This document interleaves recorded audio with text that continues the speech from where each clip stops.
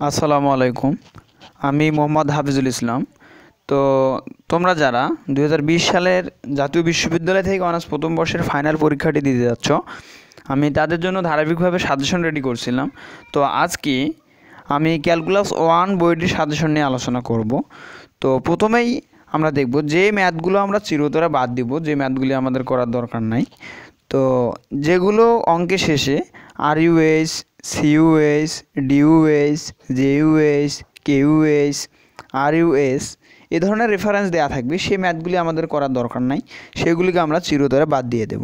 তো এখন আমি আলোচনা করব যে ম্যাথগুলো আমরা অবশ্যই করব। তো অঙ্কের শেষে যেগুলোতে এনইউএস এনইউএস নন মেজর রেফারেন্সের অঙ্কগুলি দেওয়া থাকবে।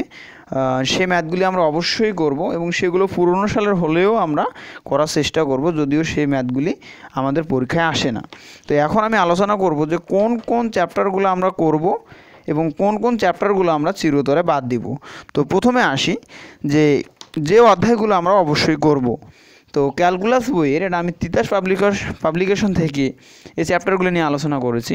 তো চ্যাপ্টার ওয়ান এ সি ফাংশনের লেখচিত্র চ্যাপ্টার টু এর এ বি সি চ্যাপ্টার থ্রির বি অন্তরীকরণ চ্যাপ্টার ফোরের বি লিবনিজের উপপাদ্য চ্যাপ্টার ফাইভ রোলের উপপাদ্য গরমান উপপাদ্য চ্যাপ্টার সিক্স টেলর ও ম্যাকলোরিনের উপপাদ্য ধারা চ্যাপ্টার সেভেন ফাংশনের গরিষ্ঠ ও লঘিষ্ঠ মান এবং হচ্ছে চ্যাপ্টার পনেরো, অনির্দিষ্ট ইন্টিগ্রালের জন্য লঘুকরণ সূত্র। চ্যাপ্টার সতেরো, নির্দিষ্ট ইন্টিগ্রালের জন্য লঘুকরণ সূত্র। এবং চ্যাপ্টার আঠারো, যোগফলের সীমারূপে নির্দিষ্ট ইন্টিগ্রাল। এবং চ্যাপ্টার উনিশ, গামা এবং বিটা ফাংশন যা কিনা মোস্ট ইম্পর্টেন্ট। এবং গামা, বিটা ফাংশন থেকে প্রশ্ন কম বেশি প্রতি বছরই আমাদের আসে এবং এবারও আসবে, আশা করা যায়। তো যে ম্যাথ চ্যাপ্টারগুলি আমি আলোচনা করলাম। এই চ্যাপ্টারগুলি যদি আমরা ভালোভাবে করতে পারি, তাহলে ইনশাল্লাহ আমাদের আশি মার্কসের উপরে নম্বর থাকবে। তো এখন আমি আলোচনা করব যে চ্যাপ্টারগুলো আমরা চিরতরে বাদ দিব। তো চ্যাপ্টার ওয়ানের এ ফাংশন চ্যাপ্টার ওয়ানের বি বিভিন্ন প্রকার ফাংশন চ্যাপ্টার থ্রির এ মূল নিয়মে অন্তরীকরণ চ্যাপ্টার ফোরের এ পর্যায়ক্রমিক অন্তরীকরণ চ্যাপ্টার এইট অনির্ণয় আকার। তো এই অধ্যায়টা একটু হলেও ইম্পর্ট্যান্ট আছে। তো যারা যারা আমরা ম্যাথে ভালো, তারা চেষ্টা করব এই অধ্যায়টি করে রাখার। এবং চ্যাপ্টার নাইনের এ নাইনের বি চ্যাপ্টার টেন অনির্দিষ্ট যোগাযোগ কি যোগজ চ্যাপ্টার এগারো প্রতিস্থাপন পদ্ধতি চ্যাপ্টার বারো A B C D chapter তেরো আংশিক ভগ্নাংশের সাহায্যে ইন্টিগ্রেশন চ্যাপ্টার চোদ্দ অংশক্রমে ইন্টিগ্রেশন চ্যাপ্টার ষোলো নির্দিষ্ট ইন্টিগ্রাল এবং চ্যাপ্টার বিশ অপ্রকৃত ইন্টিগ্রাল চ্যাপ্টার একুশ এ বি এবং আমরা আরও কিছু অধ্যায় দেখব যেগুলি আমাদের করার দরকার নাই। চ্যাপ্টার বারোর এ চাপ, দৈর্ঘ্য নির্ণয় নির্ণয় এবং চ্যাপ্টার বারোর বি চাপ, দৈর্ঘ্য নির্ণয়করণ, পোলার স্থানাঙ্কে চ্যাপ্টার বারো সি বক্ররেখার স্বকীয় সমীকরণ এবং চ্যাপ্টার তেইশ এর এ বি চ্যাপ্টার চব্বিশের এ বি এগুলি করার দরকার নেই। এগুলি থেকে তেমন কোনো প্রশ্ন আসে না।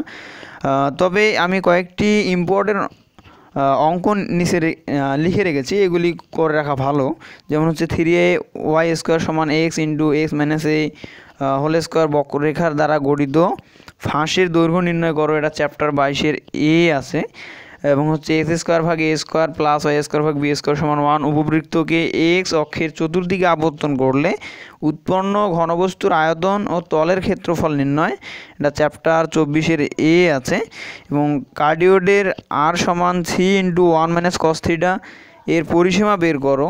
এটা চ্যাপ্টার বাইশের বাইশের বিতে আছে এবং চার নাম্বার যে ম্যাটটি আর সমান সমান a into one plus cos theta এবং আর সমান a into one minus cos theta cardio কার্ডিওয়েডের সাধারণ অংশের ক্ষেত্রে ক্ষেত্রফল নির্ণয় করো। এটা চ্যাপ্টার একুশের বিতে আছে। এই অঙ্কগুলি আমরা করে রাখার চেষ্টা করব।